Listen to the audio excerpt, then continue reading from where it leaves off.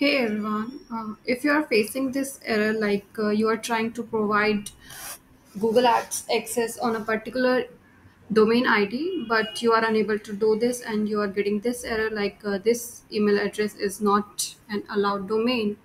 So to in order to fix this error, you, what you need to do is you need to go to the security section and then you need to add that particular domain in the allowed domain section. So like in this example, I have Gmail by default added.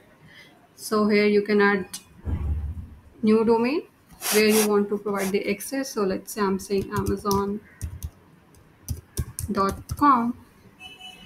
and now I will click on save, right? And now when I will try to give the access, let's say, yeah, amazon.com